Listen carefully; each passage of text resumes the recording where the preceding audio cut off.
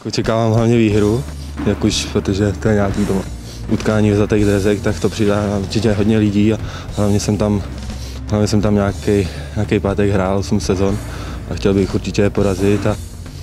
vrátit jim porážku vlastně z jejich domácích zápasů. Arénou srdce,